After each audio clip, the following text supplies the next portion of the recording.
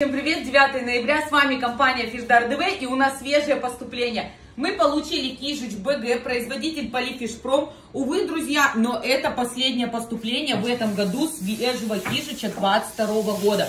Он у нас воздушной заморозки, что очень удобно, так как он, смотрите, как здоровски разбирается.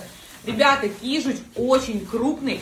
Э, в пласте всего 3-4 штучки. Ребята, на остатках всего тонна, поэтому успевайте. Ну что сказать, кижуч и правда огонь налетай.